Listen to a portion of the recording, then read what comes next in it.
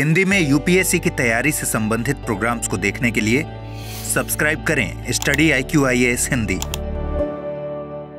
नमस्कार बहुत बहुत स्वागत है आप सभी का study I Q I S Hindi में। मेरा नाम है अतुल जैन और मैं आपके सामने लेकर आया हूँ आज की एक प्रमुख खबर, एक प्रमुख चर्चा। तो जैसा कि आप सभी जानते हैं कि भारत में और खास तौर पे उत्तर भारत के कुछ क्षेत्रों में किसान जो हैं वो सरकार के खिलाफ प्रदर्शन कर रहे हैं। ये प्रदर्शन जो है, ये पिछले कुछ समय से चल रहा है और प्रदर्शनकारी जो हैं वो बार बार ये कह रहे हैं कि वो दिल्ली की सीमाओं में घुसेंगे, राष्ट्रीय राजधानी दिल्ली में वो लोग आएँगे और दिल्ली में आकर ये लोग अपना प्रदर्शन जो है सरकार के विरुद्ध करेंगे। सरकार निश्चित तौर पे उनको दिल्ली में नहीं आने देना चाहती और उसका ऑब्वियस कारण है कि पिछली बार 2020-2021 में जब ये प्रदर्शनकारी दिल्ली आए थे, जब तीन कृषि कानूनों के विरुद्ध भारत में किसानों ने ज़बरदस्त प्रदर्शन किया था और तीन, और जब ये किसान दिल्ली आए थे तो दिल्ली में काफ़ी विवाद हुआ था, काफ़ी हिंसा हुई थी। और सरकार को आखिरकार दबाव में आकर अपने जो तीन कृषि कानून थे, उनको वापस लेना पड़ा था, उनको हटाना पड़ा था। सरकार इस बार उस बात की पुनरावृत्ति नहीं चाहती, वैसी घटना नहीं चाहती, इसलिए सरकार जो है इस बात पर काफ़ी सजग है, काफ़ी अडिग है कि हम उन्हें दिल्ली में नहीं आने देंगे।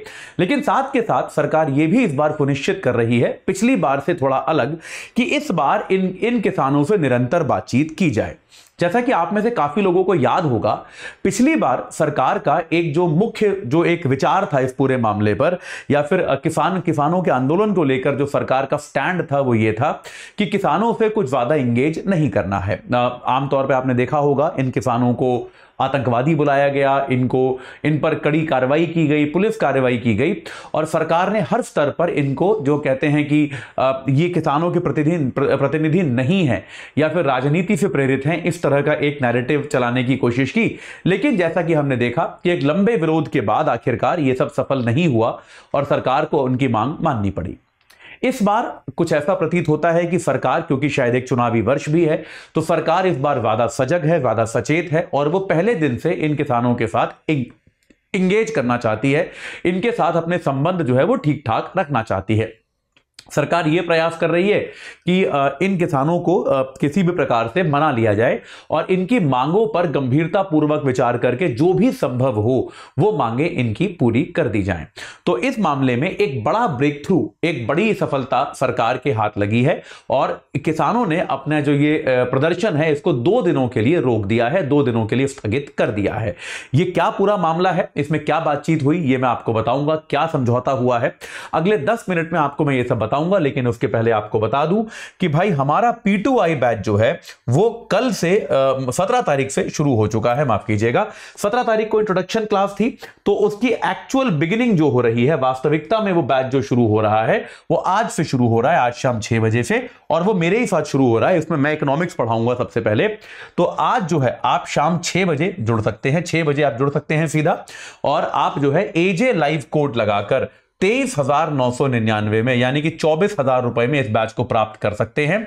ये याद रखिएगा पी टू आई बैच है यानी कि हमारे 2025, 2026, 2027 में जो भी हमारे छात्र छात्राएँ ये परीक्षा देने वाले हैं वो इस बैच से जुड़ सकते हैं। इसमें आपको रोज तीन घंटे का लाइव लेक्चर मिलेगा आपको मेंटोरशिप मिलेगी आपको इसमें डेली प्रैक्टिस क्वेश्चन मिलेंगे टेस्ट सीरीज़ मिलेगी आपको इसमें नोट्स मिलेंगे। और अगर आप प्रिलिम्स क्वालिफाई करते हैं तो मेन्स के लिए आपको हम दिल्ली बुलाएँगे।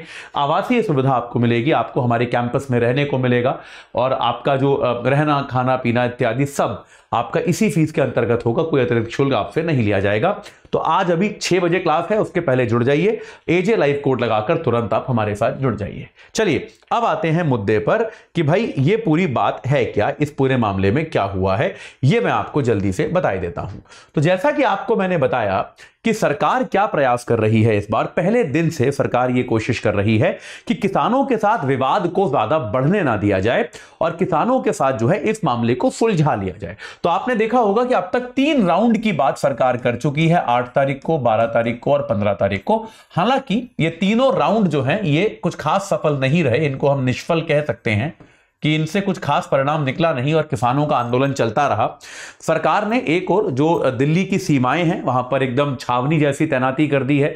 सेना है, दिल्ली पुलिस है पैरामिलिट्री फोर्सेज हैं, ताकि कोई भी अप्रिय घटना यहाँ पर ना घट पाए और कोई भी जो है व्यक्ति इस पूरे क्षेत्र में ना आ पाए, कोई भी व्यक्ति जो है, इस पूरे मामले में, इस अनाधिकृत तौर पर दिल्ली में ना आ पाए, इसके इसके सरकार ने प्रयास किए हैं। लेकिन साथ के साथ जो है, इनसे बातचीत भी चल रही है। और इस बार आप अगर मंत्री भी देखेंगे तो भारत के जो कृषि मंत्री हैं मतलब बड़े बड़े मंत्रियों को इस काम पर लगाया गया है।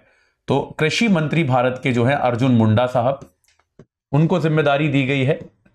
क्योंकि किसान है, निश्चित तौर पे तो कृषि मंत्री का इन्वॉल्व होना आवश्यक है। अर्जुन मुंडा साहब को एक काम दिया गया है कि आप इस, जो भी पूरी बातचीत हो रही है, जो भी पूरी नेगोशिएशन हो रही है, इसके बारे में आप बात करें। इसके अलावा भारत के, जो वाणिज्य मंत्री हैं, पीयूष गोयल, क्योंकि डब्ल्यूटीओ से जुड़े हुए भी मामले हैं आयात से जुड़े हुए भी मामले हैं। तो इसके लिए, और पीयूष गोयल साहब वैसे भी एक्सपर्ट मतलब हैं नेगोशिएशन में, बातचीत में। तो पीयूष गोयल साहब को यहाँ पर ये काम दिया गया है। पीयूष गोयल साहब भी इस समिति में शामिल हैं। इसके अलावा भारत के गृह राज्य मंत्री नित्यानंद राय भी इसमें शामिल हैं। भारत के गृह राज्य मंत्री नित्यानंद राय साहब जो हैं, वो भी इस पूरे मामले को सुलझाने की कोशिश कर रहे हैं। और इसके अलावा भारत के सूचना व प्रसारण मंत्री अनुराग ठाकुर भी समय समय पर इसमें अपना योगदान देते हैं। तो आप देखेंगे अनुराग ठाकुर जो है तो बड़े बड़े मंत्री, आप देखेंगे सभी लोग जो हैं, ये बड़े नेता हैं, अपने क्षेत्र के जाने माने नेता हैं, और इन सभी को यह ज़िम्मेदारी दी गई है। तो सरकार की गंभीरता हमको समझ आती है कि सरकार किस तरह से गंभीरता के साथ इस बार इस पूरे मामले को कि सरकार जो है इस बार इस पूरे मामले को ये करने का प्रयास कर रही है, ठीक है? तो ये जो है ये इंपॉर्टेंट चीज़ है, ये सरकार जो है करने की कोशिश कर रही है। अब यहाँ पर क्या हुआ है, इस बातचीत में आपको मैंने पहले भी एक दिन बताया था, किसानों की बहुत सारी मांगे हैं, ठीक है? कई सारी मांगे हैं, लेकिन और कई बार क्या होता है, देखिए, जो विरोध प्रदर्शन होते हैं, उसमें कई बार कई सारी चीज़ें तो प्रदर्शनकारी ऐसी माँगता है, जो प्रदर्शनकारी को भी पता होता है कि ये नहीं मिलने वाली। और इसके मिलने का कोई औचित्य नहीं है। जैसे किसान ये कह रहे हैं कि भारत डब्ल्यू से निकल जाए। अब भारत जैसे बड़े देश का डब्ल्यूटीओ से निकल जाना संभव नहीं है। भारत डब्ल्यूटीओ में विकासशील देशों की तरफ़ से पक्षदारी करता रहा है। भारत डब्ल्यूटीओ में, में लगातार संघर्ष करता आया है। लेकिन डब्ल्यूटीओ को छोड़ देना यह उचित नहीं है। भारत के लिए इस समय यह प्रासंगिक नहीं है। यह भारत नहीं कर पाएगा ऐसा प्रतीत होता है। ये बात सही है। अब तो इस तरह की जो मांगे हैं ये शायद नहीं हो सकती। इसके अलावा ये कहते हैं कि किसी भी तरह के कृषि आयात पर प्रतिबंध लगा दिया जाए। अब यह भी संभव नहीं है क्योंकि डब्ल्यू के नियमों का ही ये सीधा सीधा उल्लंघन हो जाएगा। और ऐसा भारत सरकार की एक वृहद विस्तृत नीति होती है आयात की, उसको लेकर भी किसानों की मांग को नहीं माना जा सकता यह बात सही है। लेकिन किसानों की जो एक सबसे प्रमुख मांग है, जो वास्तविकता में वो चाहते हैं, और जैसा आपको मैंने पहले भी बताया था कि कुछ मांगे ऐसी होती हैं, जो अगर पूरी कर दी जाए, अगर वो एक मांग सरकार मान ले तो ये विरोध जो है खत्म हो जाएगा। तो वो मांग जो है, वो न्यूनतम समर्थन मूल्य की मांग है। किसान क्या चाह रहे हैं कि जो एक न्यूनतम समर्थन मूल्य है एमएसपी जो है, जो सरकार देती है, ये न्यूनतम समर्थन मूल्य की सरकार जो है कानूनी गारंटी प्रदान करे। ये किसान चाहते हैं कि सरकार जो है न्यूनतम समर्थन मूल्य की एक कानूनी गारंटी प्रदान करे एक कानून बनाए जिसके तहत न्यूनतम समर्थन मूल्य का स्वामीनाथन फॉर्मूला के तहत कैलकुलेशन होगा। स्वामीनाथन फॉर्मूला क्या कहता है कि किसान की जितनी लागत है स्वामीनाथन फॉर्मूला क्या कहता है? एम एस स्वामीनाथन जिनको इस साल भारत रत्न दिया गया है उन पर आधारित है। उन, उनका दिया हुआ फॉर्मूला है। स्वामीनाथन फॉर्मूला क्या कहता है कि किसान की लागत का डेढ़ गुना न्यूनतम समर्थन मूल्य होना चाहिए और लागत में वो श्रम, वो भूमि की अवसर लागत और साथ के साथ जो किसान ने धन लिया होगा, पूंजी की लागत, इनको भी शामिल करने की बात करते हैं। तो ये कहते हैं लागत में इन सबको जोड़ा जाना चाहिए और इस लागत का डेढ़ गुना न्यूनतम समर्थन मूल्य होना चाहिए। तो किसान ये कहते हैं कि इसको आप कानूनी दर्जा दीजिए इसको आप कानून जैसा बनाइए ये कानून जब आप बनाएँगे तभी इसमें तभी इसको उचित माना जा सकता है। ये बात जो है ये आ, किसानों की मांग है। सरकार जो है निश्चित तौर पे बहुत ज़्यादा इसके पक्ष में नहीं है ये बात सही है क्योंकि अंदर से ये बात हम सभी जानते हैं ये बात क्लियर है कि आ, सरकार जो है जल्द मतलब मेरे विचार में अगर चुनाव के बाद आ, ये भारतीय जनता पार्टी की सरकार दोबारा आती है तो ये वापस आने के बाद यानी कि प्रधानमंत्री मोदी का को अगर उनका तीसरा टर्म मिलता है आ, तो अपने तीसरे टर्म में कृषि सुधार उनके एजेंडा में बहुत ऊपर होंगे कृषि सुधार की तरफ़ वो काम करना चाहेंगे। तो कृषि सुधार में एक उनका प्रमुख भाग जो होने वाला है वो होने वाला है कृषि में निजी निवेश। और कृषि का बड़े पैमाने पर निजीकरण। ये जो है, ये वो करने की कोशिश करने वाले हैं। मतलब निजीकरण तो खैर कृषि निजी ही होती है भारत में लेकिन निजी निवेश जो है बड़ी बड़ी कंपनियाँ कृषि में निवेश करेंगी। ये सरकार का एक प्रमुख एजेंडा होने वाला है और ये एजेंडा तभी लागू हो पाएगा ये तभी सफल हो पाएगा अगर आ, आ, किसान जो है वो अपना उत्पाद बेचने के लिए उद्योगपतियों से सहमति बना लेते हैं उनके साथ समझौता कर लेते हैं।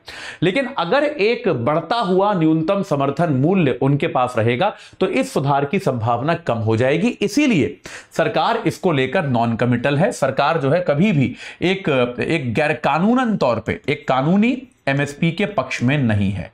कि आपको हम एक कानूनी एमएसपी देंगे, इसके पक्ष में सरकार नहीं है। सरकार इस मांग को मानने को तैयार नहीं है। और यह बात हमने तीन कृषि कानूनों के समय में भी देखी थी। कि इस वाले मामले पर सरकार अड़ गई है, सरकार जो है, वो इस मामले को जो है यहाँ पर नहीं हो पाएगा। ये बात जो है सरकार इस पर अड़ गई थी और इस बार भी सरकार इस पर लगभग अड़ी हुई है। तो अब कल को क्या हुआ? इस पूरे मामले में एक अन्य राउंड की बातचीत हुई, चौथे राउंड की बातचीत हुई, जो रात को आठ बजे से रात को एक बजे तक चली और उसमें पंजाब के मुख्यमंत्री भगवंत मान भी शामिल हुए। अपने आप में अच्छी बात है, क्योंकि मतलब आमतौर पर देखा गया है कि जहाँ पर विपक्षी दलों की सरकारें होती हैं, वो राज्य सरकारें इस प्रकार की बातचीत में इस प्रकार के सहयोग में भाग नहीं लेती लेकिन यहाँ पर ऐसा नहीं हुआ। तो भगवंत मान भी इसमें शामिल हुए और इसके बाद जो पीयूष गोयल जी ने एक मीडिया से बातचीत की, उन्होंने कहा कि एक फॉर्मूला सरकार ने सजेस्ट किया है, जिसके बाद किसानों ने कहा है कि वो अगले दो दिन के लिए अपना आंदोलन स्थगित कर रहे हैं और अगर इस फॉर्मूला पे सहमति बनती है, तब जाकर वो आगे और चीज़ें अपना आंदोलन वापस लेंगे। और अगर किसानों को लगता है कि यह फॉर्मूला ठीक नहीं नहीं है तो 21 तारीख से फिर वो अपना आंदोलन जो है दोबारा शुरू कर लेंगे। तो सरकार ने क्या कहा है? सरकार ने कहा है कि हम आपसे कोई कानूनी एमएसपी का समझौता नहीं करेंगे, लेकिन जो हमारे सहकारी संघ हैं सरकार के ऐसे सहकारी संगठन हैं, एक तो नफेद है माफ़ कीजिएगा दोबारा लिख देता हूँ यहाँ पर। एक तो ईडी होगी क्या हो रहा है? एक तो सरकार ने कहा है कि हमारे जो सहकारी संगठन हैं, भले ही वो एनसीसीएफ हो, भले ही वो नफेद हो तो ये जो हमारे सहकारी संगठन है नफेद हमारा क्या होता है? नफेद होता है राष्ट्रीय कृषि सहकारी विपणन संघ। राष्ट्रीय कृषि सहकारी विपणन संघ। ये आपका नफेद होता है, ठीक है? ये कृषि की मार्केटिंग के लिए जो है काम करता है। और दूसरा आपका जो है वो है राष्ट्रीय उपभोक्ता सहकारिता संघ। राष्ट्रीय उपभोक्ता सहकारिता संघ।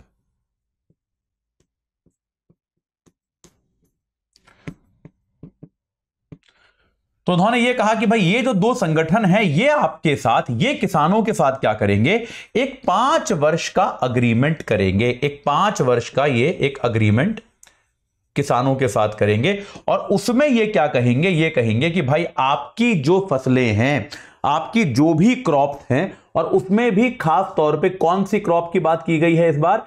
इस बार बात की गई है दालों की। उन्होंने कहा है, आपकी दालों और मक्का इत्यादि की जो फ़सलें हैं, दाल व मक्का, इनकी जो फ़सलें हैं पाँच वर्ष के लिए उनको हम खरीदेंगे और कितनी मात्रा में खरीदेंगे? असीमित मात्रा पे खरीदेंगे, ठीक है? तो आपके एमएसपी पर ये दो संगठन जो हैं, ये आपकी दालों के के जो भी उत्पादन हैं, उनको हम, क्योंकि मतलब एमएसपी का मतलब ही है ना कि आप असीमित मात्रा में खरीदें, उस पर कोई अपर कैप ना हो तो आप याद रखें कि इसको जो है हम इसको हम असीमित मात्रा पे ये दो संगठन जो है, अगले पाँच सालों के लिए खरीदेंगे। ये बात की गारंटी देने को सरकार तैयार हो गई है। कि कानूनी तौर पे हम कोई कुछ बात नहीं कर रहे हैं, लेकिन ये दो संगठन आपके साथ इस तरह का समझौता कर सकते हैं। यानी कि सरकार ने थोड़ा सा एक झुकना दिखाया है कि वो थोड़ा सा झुके हैं कि आपको एमएसपी की गारंटी एक तरह से मिल जाएगी पाँच सालों के लिए, लेकिन इन कुछ फ़सलों पर बाकी फ़सलों पर नहीं। ठीक है?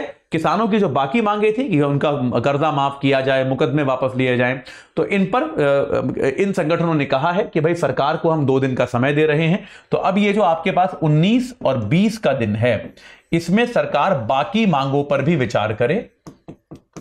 और इन दिनों में इन कृषि कृषक संगठनों ने कहा है कि हम इस पर चर्चा करेंगे और अगर चर्चा के बाद ये हमको सही लगा तो हम अपना आंदोलन वापस ले लेंगे। और अगर ये हमको सही नहीं लगा तो हम अपना आंदोलन वापस नहीं लेंगे।